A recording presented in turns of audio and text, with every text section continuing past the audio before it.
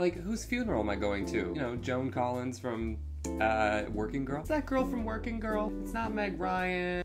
Is it Meg Ryan? It's not Meg Ryan. We are back in my bedroom. I decided to switch up the backgrounds. Minorities. I only have one thought. Keep them out of your maze. They're dangerous to have around. They're gonna hunt down your princess.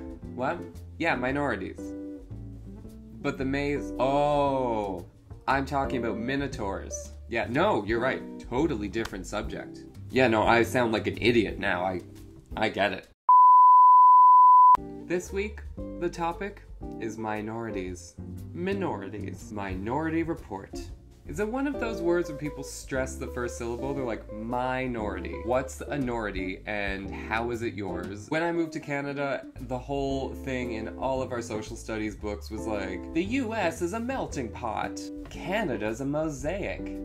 Yeah, Canada's quite proud of its, uh, you know, inclusive whatever atmosphere, it doesn't give you a pass for being a dickhead. You don't just open up the book and you're like, oh, well, now everything makes sense. Thanks, Mrs. McPherson. I'll have no trouble navigating social mores now.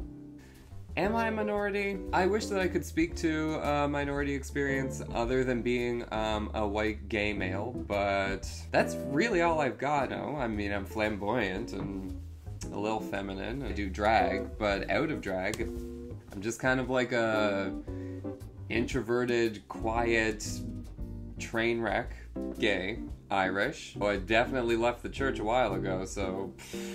I mean, I'll be real. Being a little gay kid in rural Nova Scotia, not super easy, okay? There's a lot of like deception, lying, guilt.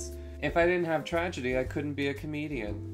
I mean, am I wrong? Am I wrong? We've come a long way. There's still a long way to go. Do we have to talk about white privilege? Isn't it kind of obvious? For some people, it's not. Those people are idiots. I shouldn't say idiots. People just aren't uh, educated. Woke as the kids say. Or as I would say, out of drag because I don't have the same vocabulary in or out. I won't sit here and pretend that being gay is just like super easy and like so great. Like, oh my god, like let's party, bitch. And oh, I can't wait for Pride. It's not like, it's a lot of that, but like it's also none of that. Aside from being gay, being a minority is not my experience. It's just not all I can do is try and teach myself.